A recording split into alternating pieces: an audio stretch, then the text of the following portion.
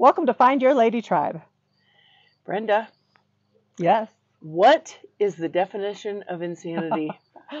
Oh, you know what it is. I- It is yep. doing the same thing over and over and over and expecting a different result. exactly. We're going to talk about that. Come okay, all right, come on back. Welcome to Find Your Lady Tribe. I am your host, Brenda Ridgley, author, speaker, and midlife women's coach. This season is dedicated to your midlife mindset, so be sure to subscribe now to be notified of a new episode each week. I am honored to be joined this season by co host Tressen Bryant of Lovin Life Coaching. She is a mindset, trauma, and relationship expert. Join our inner circle to be the first to know about retreats, workshops, events, and receive tribe building tips. Go to tinyurl.com forward slash find your lady tribe to join. Are you ready? Let's go. So, speaking of doing something over and over again, I it's so funny. This is a story I told I put out on Facebook one day. Like, I wish I were a morning person. I I just can't get up early. I'm, I'm not a morning person. I'm cra- crabby and blah blah blah. How do you become a morning person? And overwhelmingly, the response was, "Go to bed earlier." That's a pattern I can't seem to change. right? Well, it's so funny. So, I wanted to talk about patterns because, oh my gosh, we've all got them, right? We've all got these patterns, and Mhm. we're we're driving the same roads. Like, how many times have you ever needed to go Mm. somewhere else?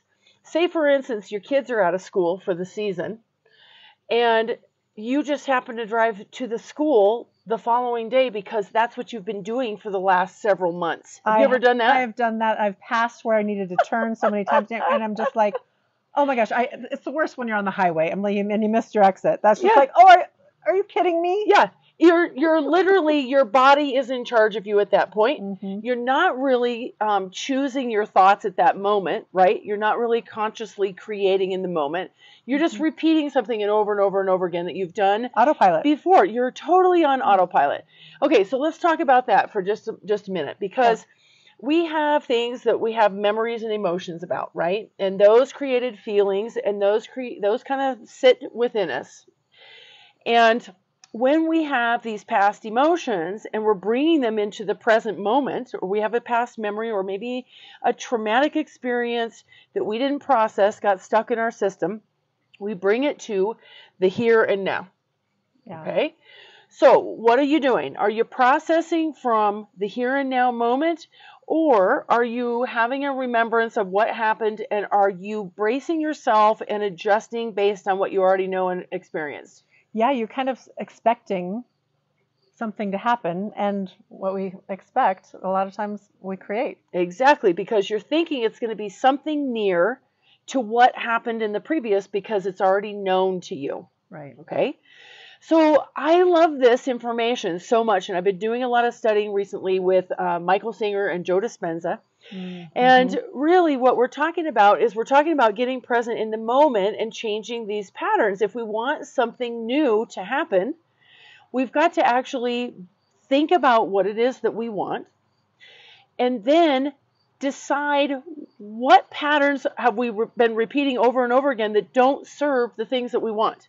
right. What okay. we're willing to give up to get Exactly. there or take on. Well, you know what? Sometimes things? We don't even know we want to give it up because it's become so automatic. We don't even think about whether it's something we desire or don't desire. Right. So that's why I love to bring us back around to sit down with your journal for a couple of minutes, you guys, and write out what is it that you desire? What is it that you want? Um, you know, we design everything else, and I know I've said this before, but we, you know, we design this beautiful patio that we're sitting on. It Mhm. looks lovely. It's gorgeous. The fountain is here. Uh, we design our clothes that we wear each day. Like Mhm. we pick out something, we maybe put a couple pieces of jewelry with that. Um, I designed my tattoos, or I took thought and time and put a process Mhm. into those things to design them. Mhm. So when you're um, when you're when you're thinking about things, you have um, thoughts that come up because you actually chose them. You're like, I am going to think about this recipe that I'm cooking in the kitchen, right? I'm going to think about that. What is the list that I need to do? What are the things? There's another way that you think about things. Mm-hmm. Another way you can think about them is visualization. Okay, so that's like the second way that you can think about them. Right. And visualization means that, okay, so I'm taking a vacation coming up this next week, and I'll tell you, I have been trying to think about the things that I would like to do when I'm on the vacation. Right. So I'm visualizing what those would be look like. Pre paving the way. Exactly. I've yeah. never snorkeled before. Ooh. So I, am going to do it. I have never done that. I'm going into the unknown, but I'm thinking about what that looks like in my mind. I've never thought about snorkeling before, never thought about the fish. So it's taking me into the unknown. There's a third way that we process thoughts, and that is automatic. Hmm. It is the stuff that's running and running and running. Have you ever had a day where your thoughts ran away with you? Oh yeah, absolutely. Those, I mean, what I would call the ego thoughts, right? The ones that woulda, coulda, shoulda, you know, that, you know, you're not good enough. Those, yes, yeah, those okay. That, those are not good days. All right. So what's happening there when we go into that woulda, coulda, shoulda, or the ego thoughts, as Brenda likes to call them, the past memories and those types of things? What's happening to us is that when something happened to us previously that we didn't really enjoy, our brains is to keep us in survivorship, right? We're supposed mm-hmm. to be mm-hmm. surviving. So its job is to figure out how we could have done that better and survived it a little bit better mm-hmm. or done a little better. So it's constantly trying to process those and let them move through us and come up with something. But you know what? It keeps you stuck. Okay, mm-hmm. so let me mm-hmm. ask you this. When you get up in the morning, do you have to think about going to the bathroom or brushing your teeth in the morning? Do you have to like really give it serious thought? Not usually. No. No. Automatically, there you go. You're going. Right? Right. When you want a glass of water, you really don't give it a lot of conscious thought and go, okay, here's what I'm going to do. I'm going to get up from my chair. I'm going to walk over to the counter or wherever I keep my glass or the cupboard. I'm going to mm-hmm. pick up my glass. And then from there, once I picked up my glass, I'm going to walk over to the refrigerator and I think today I'll choose that I'm going to have ice like I do every single other day. Maybe we'll squeeze a lemon. Maybe a squeeze of lemon. Okay, so you get the point. You mm-hmm. probably don't even think about any of that. You just do automatically it. are on autopilot, and your body has become the boss of you, and now you're just going. Before you know it, you got a glass of water with ice and a lemon in it, and you don't even really know how you got there because you were thinking about 40 other thoughts while you did that. Yeah. Can you relate? I can relate. I've happened several times a day, I'm sure. Okay. Minute, an so hour. We, so we get into new situations in life. Yeah. All right. We get into new situations. Maybe we want to have a new relationship. Mm. Okay. Maybe we want to try something new, like um, Brenda. When you wrote your first book and you became an author, had you been writing for years? No, I had not. Was it new to you? It was all new. Okay. Did you have a pattern of writing each day when you decided you were going to write a book? Was that already there? No, absolutely not. I actually feel that, I mean, I would make a decision that when I would go and I would take myself to the chair and I would kind of look at what I might want to write about, and I felt like it just, it just came through me. Exactly. Okay. Yeah. You opened up space for your mind and your body and your soul, the you that's in there, to experience something new. It was exciting and awesome. Well, the unknown. It was incredible. Yes. So when you do the known repeatedly day in and day out, does that feel as exciting? No, that's when you get into that humdrum, what's it all about? Yep. You know, even if you go to the gym. Okay, so I go to the mm-hmm. gym and if I don't switch up my workout, right? If I don't switch it up, say I'm doing legs one day, I'm doing arms the next day, I'm going to do my back or shoulder. If I were not switching that up, if I went to the gym and I did the same exact thing every every single day, that routine would maybe not make me so excited to go to the gym. No, and your body gets used to it and it doesn't you don't get the results either. Exactly. I also would not you know see different parts of my body. Mm-hmm experiencing muscle growth and maybe flexibility or cardio or okay if i never run i'm never going to experience that in my body so we have to change things up. We get into these patterns where we're just like, okay, we're like these little robots and we go. Um, I want to tell you something. One of the things that I think that we do often is that we project onto other people because Oh, yeah. instead of looking internally, we go, you know, I kind of really wish so and so would change their patterns so that I can be happy because I'm not really digging their patterns right Yeah, now. Like, make my life easier if it, exactly. If you would just do blah, blah, blah a little differently, mm-hmm. Brenda, then I could move forward with whatever the blah, blah, blah yeah, is. you're that holding me up. yeah, Come you're, on. you're holding me up. Or, or how about this? Okay, you get a person that's in the same pattern every single day as Mhm. you're driving to your place of employment or your business or your, you know, networking business or whatever you're doing. And the same person gets in front of you because they pull out of your neighborhood and they're just driving like this, and you're Yeah. like, oh my gosh, I've seen this person 10 times. I see this guy every Mhm. single day, or I see him every Wednesday when I go to the shop, and now I'm behind him again. He's in a pattern. Yeah. He's in a pattern. He doesn't even remember where he's turning because his car will automatically go there.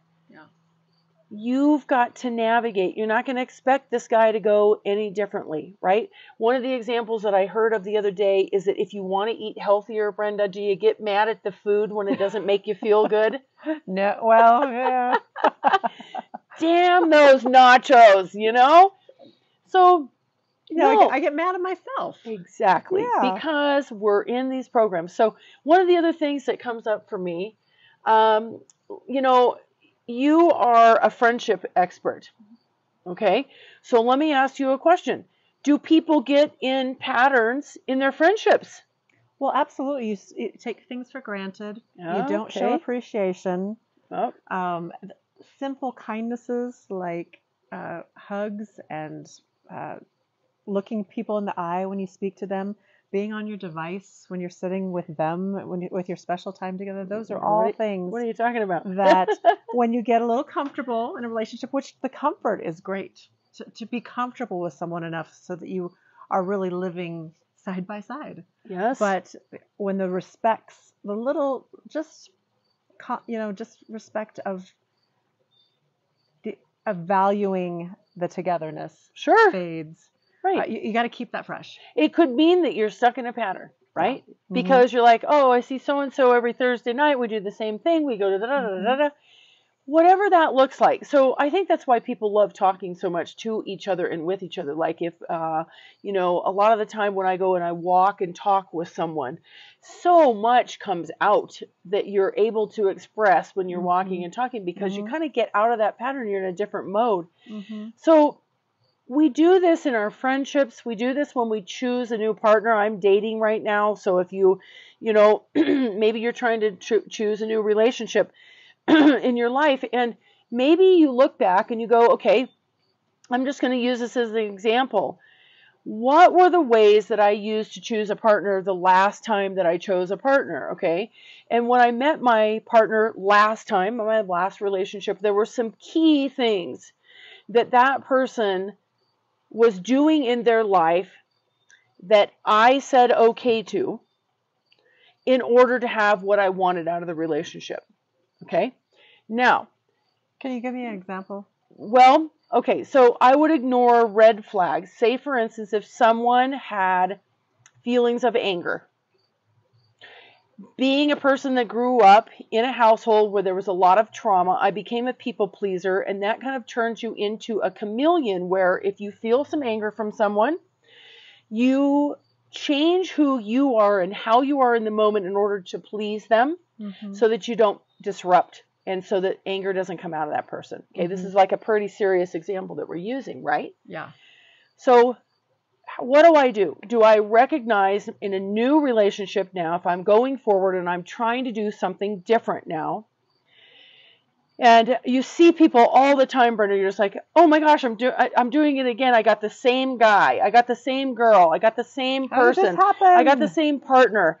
And I really, it's so and so's fault. No, it's actually not because you're not paying attention to your patterns, okay?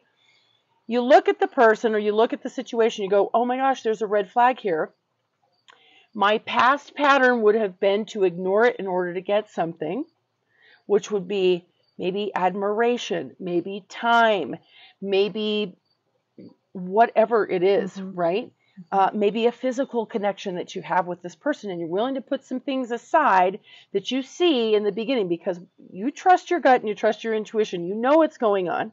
So you put it aside, and then that's your pattern. Putting it aside is your pattern. Okay.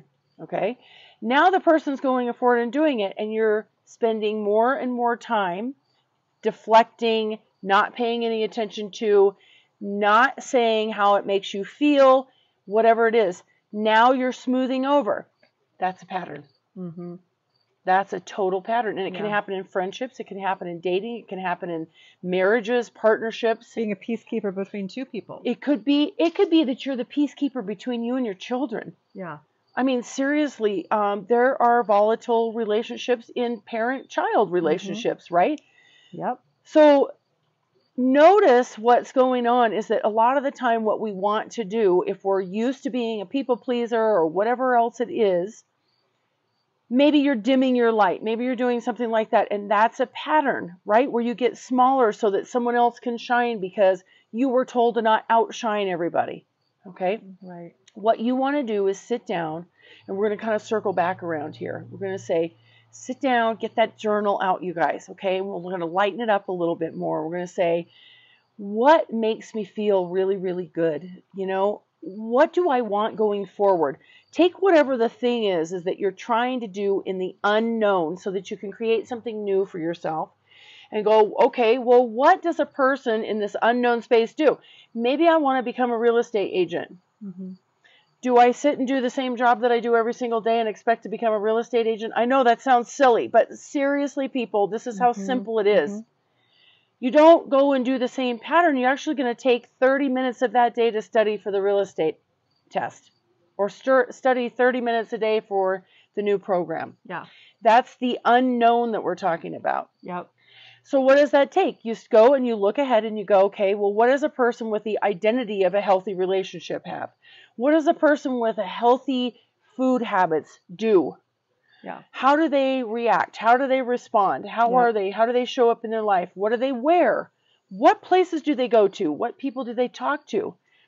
And, it- then And if you're someone who's been dimming your light, how do I be like the person who's shining all the time? Exactly. Maybe you find somebody who you admire who behaves that way in their life Mhm. and they say, you know what?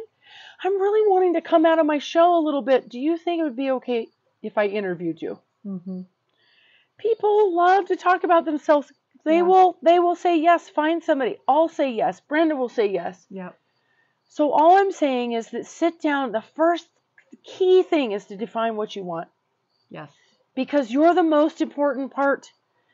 You're the most important part. So define what it is that you want. What do you? Yeah. you Well, I want to say something also that, contrary to what you may have been told as a child, you are the center of your own universe. Yes, you are. and it's okay to shine and it's okay to uh, take care of yourself and take care of your own needs and and find the, the thing that you really want to do Absolutely. instead of what everybody else thinks you should do 'Cause i think a lot of people fall into those patterns of doing what everybody else wants them to do Here's the thing. It's all about patterns. Yeah. Like what you just mentioned, that's all about Yeah. our patterns. So here's the thing. Figure out what you want to do, and that could just be one thing. It doesn't have to be 10 things, doesn't have to be 20, but when you start asking, you start figuring those out and writing that out. But then look and see what are my patterns? What are my patterns that I follow every single day? Okay, we even talked about something earlier today when we were talking. Uh, think about this. It could be something as small as using a different foot. Okay, so I have a flight of stairs that I go up every single day, Brenda. In fact, I have two flights of stairs that I go up a couple of times a day. And what I notice is that I step forward with my right leg every single time. When I started like looking at this, I'm like, Uh-huh. oh, what are my patterns? Right down to the smallest thing, okay? Well, now I switch it out. I, I stop and I go up the stairs and I go, okay, today I'm going to Oh, use I'm going to use my left leg. You will actually physically feel that change in your Mhm. brain because you're using a whole new part of your brain. Right? yeah maybe you don't have to think about going in and brushing your teeth, but maybe today you're going to brush your teeth with a different hand, right? So maybe you're going to put your makeup on on the left side of your face when you normally might start on the right. When we travel we try to intentionally switch bedsides. Get I on the other it. side of the bed because it's you don't want to like. I mean, you kind of like your side of the bed at home, but at least when you're traveling and going somewhere else, which is my side? Okay, Just let's switch. change it up. Just change it up and see what happens. Yeah. Drive to the grocery store another way, and you're going to see literally something else in your neighborhood that's getting built that you didn't know about. Yeah. You're going to see another school going up. I don't know what it's going to be, but change the patterns and start small. Start noticing what are your patterns. Do you choose people that are financially irresponsible in your relationships? And you're willing to put that aside because, man, they're really, really fun and they're charging everything on their credit card for these wonderful dates. Or are you doing that? Are you doing that? and Right? yeah, we have to Okay, but that's your acknowledge that. pattern. Mhm. That's your pattern to choose the person that's doing your write down what your patterns are and how can you adopt something new that serves the unknown part of you. So here's what's happening when you're embracing the unknown. Now what you're doing is you are no longer going to repeat the same thing over and over again and expect a new result. Now you're going to create a new reality, okay? I have somewhere that I would like to move. All right. What does that take? That takes for me to do some research on the place that I want to move. However, I've taken it a level deeper. Remember, we talked about the three ways that our mind can have thoughts, right? So I'm thinking a conscious thought to think about the town that I want to live in. Mhm. And not only that, Brenda, I take it a step further, and now I'm visualizing the town that I want to live in. And I went so far as to go and visit the town that I want to live in so that I could have all of this visual memory. I created a new memory around that town. Awesome. I can physically feel myself when I'm thinking about it walking around the town square and seeing some of the art was there, some of the restaurants that we went to. We visited the beach while I was there. I can literally physically take myself back. And when I have a hard time, maybe some of you have a hard time visualizing, I can go back and visit my photo album and literally take myself to that new place. Okay, so if I come home from the new place and I start doing the same thing over and over again, am I actually going to get to move to the place? No, I'm not. What do I need to do next? Now I need to start making a plan and start looking and feeling like I'm already there. yeah. And then your body will follow. It'll start following. So every day when I get up today and I walk out of my house, I go, Ooh, I love living in such and such place. And I pretend like I'm already there. now what I'm doing is I'm training my body to already live there.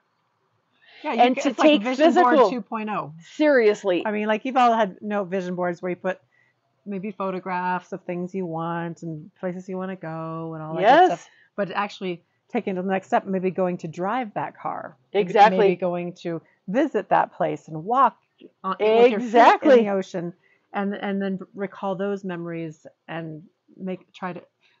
hundred percent reality. A hundred percent because now. now they're in they're becoming now the the future self is becoming my known self Mm. instead of my past and everything I've been doing every single day. Isn't that exciting to think you can do that and you can? It really is. And so I drive around with a big old grin on my face right now knowing that this is up and coming for myself. Mm-hmm. So I would just say that there is so much to this. We could go on and on about it. We're coming to the near end of our time. If anyone wants to know a little bit more about this, get in touch with me because I would Yeah. love to dive deeper into this. Um, Joe Dispenza is a wonderful resource, and so is Michael Singer. Um, and Brenda, maybe you can put those. I love uh, his book, uh, Becoming Supernatural. Joe Dispenza's book, Becoming Incredible. Supernatural, is exactly what I'm talking about, and he has some fantastic meditations. Yeah. What we're also doing is we're creating a connection between your heart center and your brain because we overthink things all the time, Yes. and that's also where these memories come up. But the heart knows what you truly want, and so you can Mhm. drop back down and start creating from a soul-centered place on the on the things that you really love. You know, I'm going to be 55 years old coming up here pretty soon. And I want to be pretty much happy and ecstatic about all the rest of the days of my life, Brenda. And that's my plan. Yeah. And so I have to go into some unknown areas, figure out what my patterns are. When I go into something unknown, I'm going to look and see if some of those patterns are following me into the unknown. And they'll try. And they, oh my gosh, they will because we just done it and done it.